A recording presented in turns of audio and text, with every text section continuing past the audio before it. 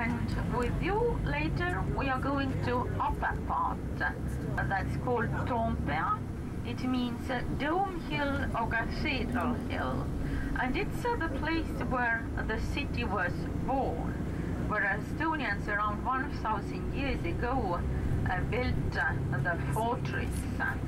And all through the century it has been the seat of power the place from where the country has been governed. Estonia is quite a small country. Our territory is uh, just a bit more than uh, 45,000 square kilometers. And in European sense, let's say it's small, but not so small, uh, because uh, it's more or less the same with uh, Denmark or the Netherlands or the Belgium or Switzerland. But uh, what makes us so small is the number of the population. It used to be uh, the naval officers uh, club and it's uh, also the place where you have uh, uh, shuttle buses. If somebody later decides to stay in town, so then you have to uh, descend from Tompea to the lower part because uh, we finish in Tompea in Dome Hill and then here now it's a Viru street, uh, Viru square. But when you look here to the right now and later when we come back you'll see it better. It's Viru gate, an, an old medieval gate and Viru street and so to take the shuttle bus, uh, you have to reach uh, this Viru square and turn to the left uh, and to go as far as you can see the shuttle bus uh, with the name of the ship. And uh, uh, the last shuttle is 5 o'clock.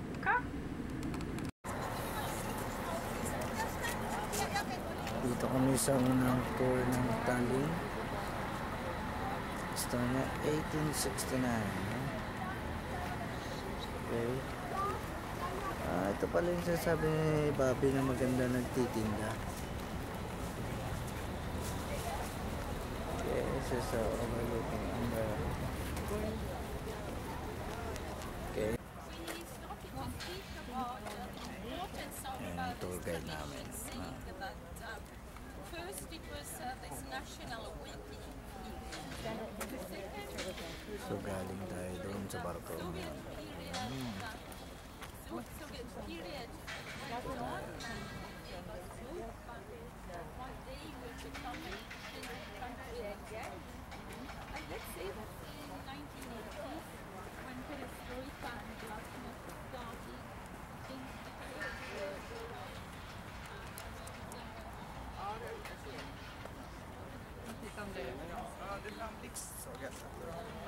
Siguro presidente nila yan.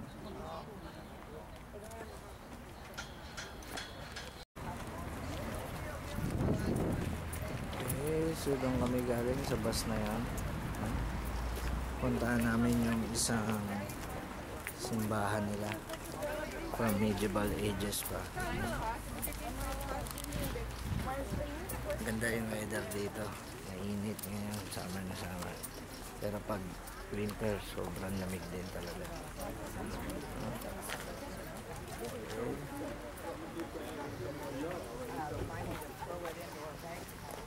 Pasok tayo. Uh, because it existed, it existed only a bit more than 150 years. Because with the Church Reformation, 1525, uh, it was uh, the monks and nuns were forced to leave, and it was uh, the Catholic order. And later, the second half of the 16th century, during the Livonian War, and Livonia, because historically, one Ah, mga libingan na lang. Okay, so from 15th century pa, no? Kaya itong pasukan natin yung simbahan nila. Grabe. Oh, ang laking simbahan. Museum na lang, no? Oh, grabe. Ayan. Wow. Ayan yung simbahan nila. Tingnan mo, purong bato talaga yan. History. This is history. No?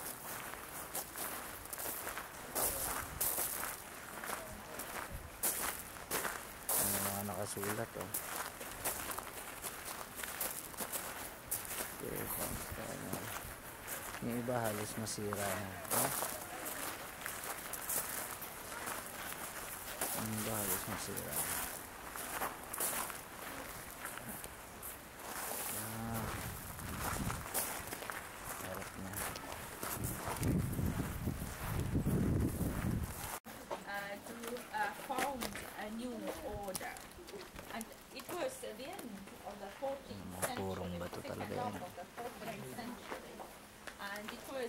After that.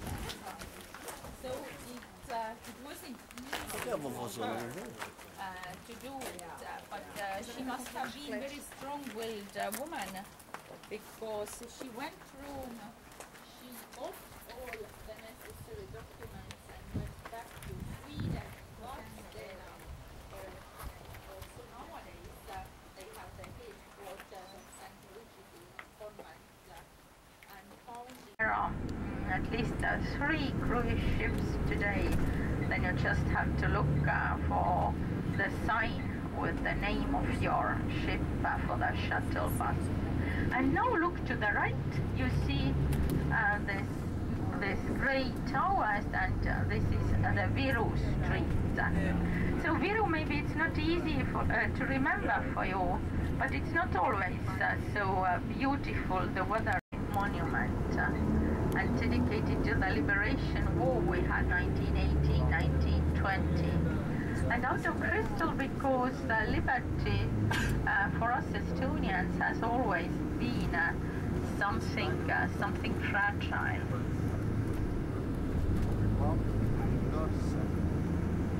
And in front we see another church uh, that is dedicated to Swedish King uh, Charles. So we call it Karli, Karli Kirika. And uh, the first one which was built here already during uh, uh, the Swedish Okay, dito na tayo sa Old Town. Tour nila, no? Kaya doon punta tayo dyan.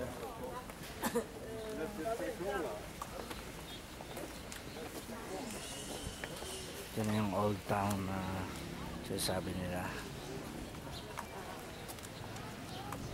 Ganda rito, no? Ayan, oh. Ganda, oh. oh. Mga 13th century pa yan, yung building na. Simbahan. Ah, ito simbahan. Ayan. Dito pala tayo. Para makakuha tayo ng magandang view. No? Ito ginagawa ko na Ayan. Tingnan nila. Yan pinunta ng turista rito. Okay, let's have some pictures. Okay, so papasok tayo sa loob, no? Ito natin yung iba. Okay. Ganda ng ano nila. ha?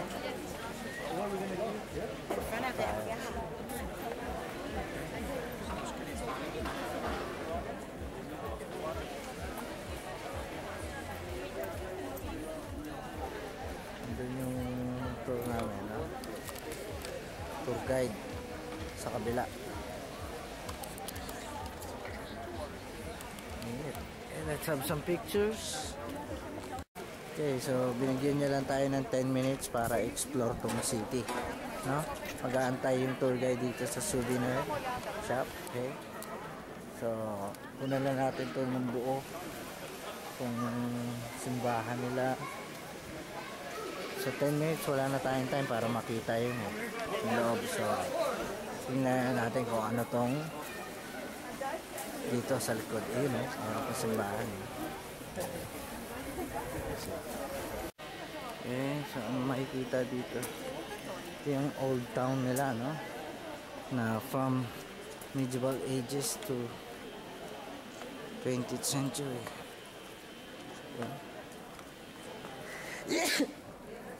Excuse me, natching ako.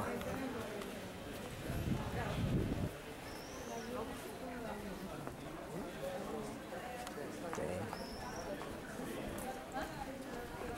Yan.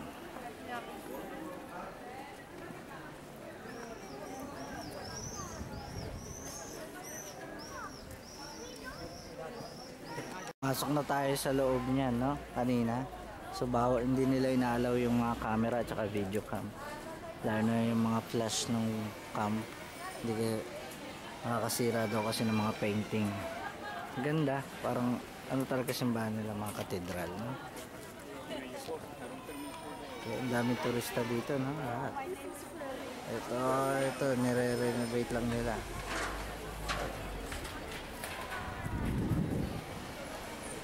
So, siguro oras na para bumalik. Nandun yung mga kasama natin. Meron pa tayong 1 hour. May pupuntahan pa tayo. Ha? Ang simbahan, no? Kulit naman simbahan nila. Lalaki ng mga ano, ah. Wow. Yung simbahan dito. Lasok namin ng mga to. Andun yung pipe organ. Ah, ano? Tama. Organ nila. Choir sa taas. Wow, very ancient.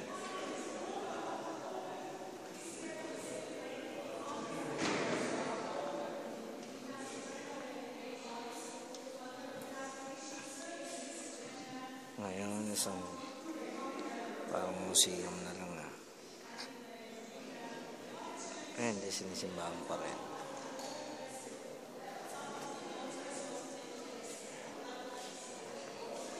Wow, ganda.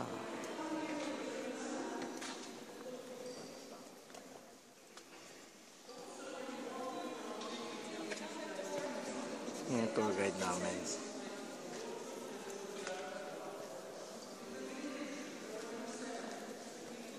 Alright, time to go.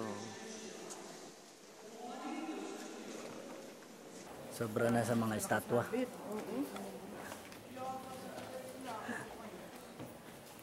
Yan na sila. eh. Pa- Parang sa mga, mga kastilyo talaga. no? Mga dati. Simbahan nila.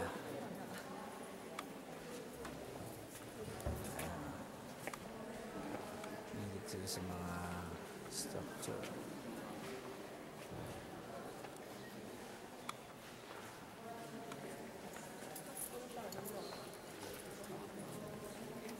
Annet ut andre siden.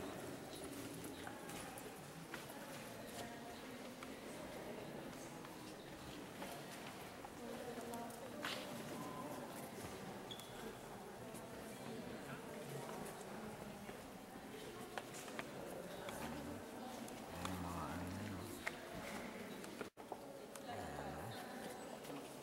Ayan yung structure nila, no? Ang dami nila mga ano. Ang curve. Dito yung pare nagsasalita. Ayan.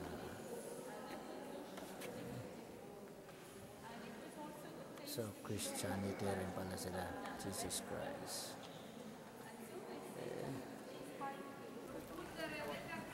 Nila naman yung mga pinupunta mo dito eh. Makita yung mga lugar nila eh.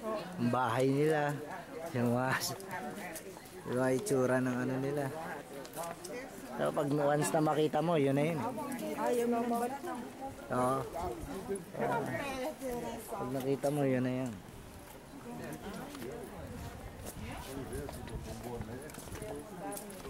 Yan. Dito kami sa tuktok nila. Yung mga castle nila oh, dati. Ito na yung pinakamataas na viewpoint nila para makita yung buong sila.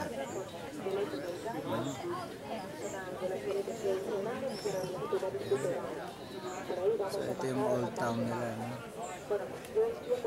Tapos doon puro bagong building na. Radisson Hotel.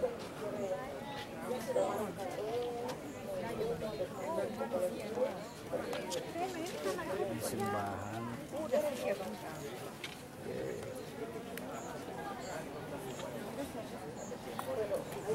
Parang ano, pinalilibutan siya ng ng mga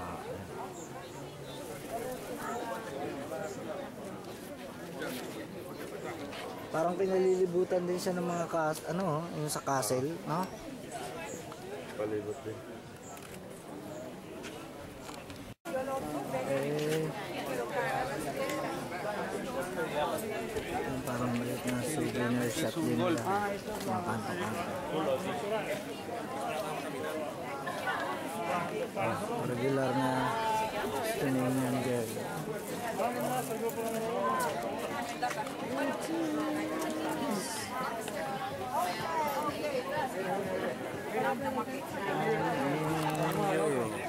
Oiga,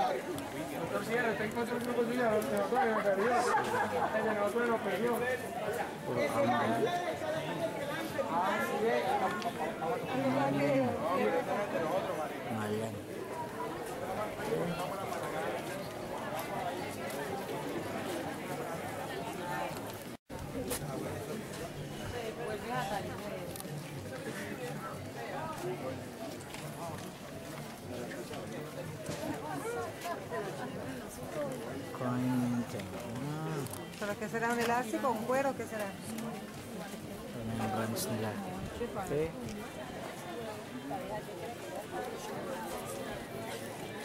Down here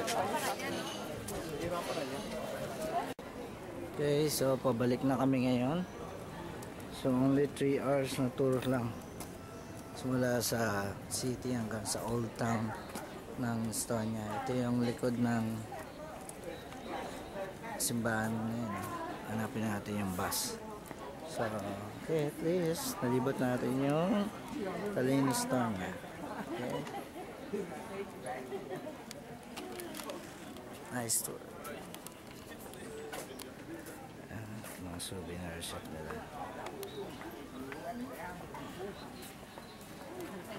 So, dati may iba silang pera dito pero ngayon euro na rin yung ginagamit nila. Yan. Meron pa pala itong isang pupunta namin. Ito, tower nila. Tinatawag nilang tower, no? Okay, so from medieval ages pa yan. No? Yan parang nagpapalibot sa buong city. Pa-preserve pa rin yan. Ayan. Galing, no? So,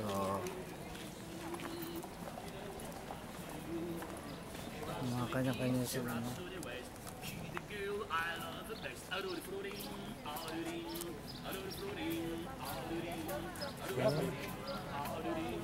Yan sa mga napapanood natin, no? Mga kastilyo talaga nila, no? Almost drives me crazy. I gotta get it doing in dancing. She almost drives me crazy. She knows it's a long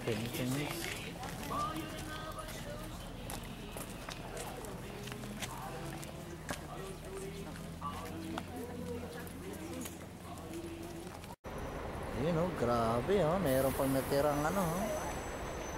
Kastilyo oh. Eh, pauwi na kami. Pasakay na kami ng bus. No? Yun sa mga castle talaga, no? Ayan oh, palibot. Doon.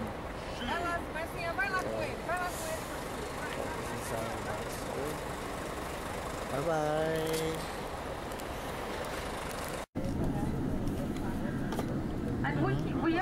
Had very good walls, uh, in spite of uh, in spite of the reason uh, that they were different, but uh, they didn't manage to enter uh, the walls. And once we had two and a half kilometers of walls, uh, 48 uh, towers and six entrances. So now we are lucky because nearly half of the walls have uh, survived. Uh, also half of the towers, but of course uh, the entrances are more or less doubled. And here we already reach actually the port area and uh, the passenger port uh, from where the ferry boats, catamarans, hydrofoils uh, daily leave uh, Helsinki, that's very close to Tallinn, uh, just around two hours to go. It depends on uh, the ship. With hydrofoil, it's just one and a half hours. With the other ones, it's uh, three hours. I finished finish at Swedish tourists we have here also. Because in spite of the fact that That was built in 1972 by Finns. At that time, it was the only hotel here in Tallinn. But now after independence, we have many, many hotels and many shopping centers. And um, on the left, connected to the hotel, there is a shopping center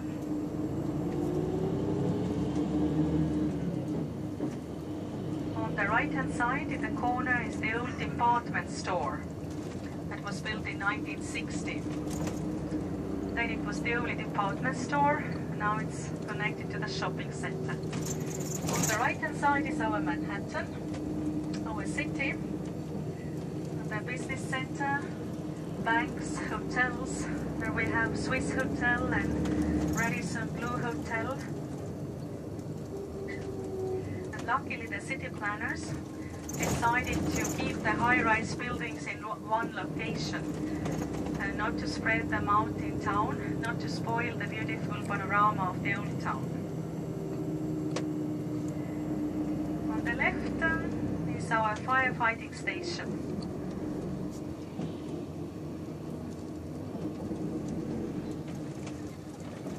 We have quite a lot of greenery around the old town, small and bigger parks.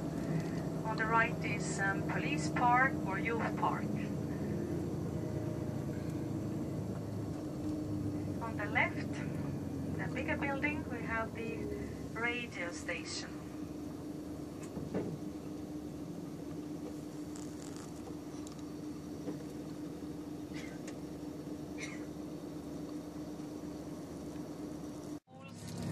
Now um, TV, um, media.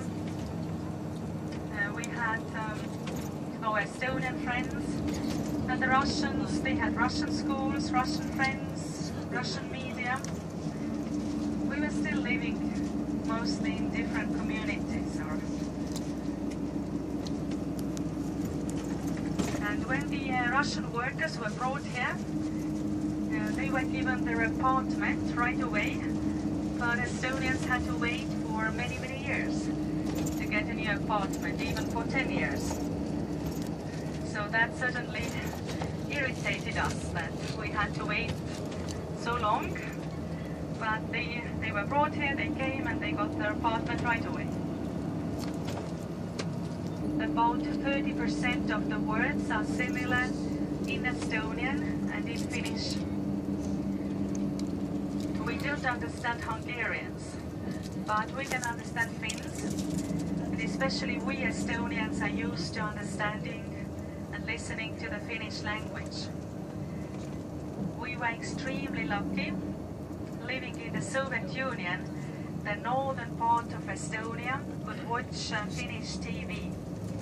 And that was like a small window into the big world.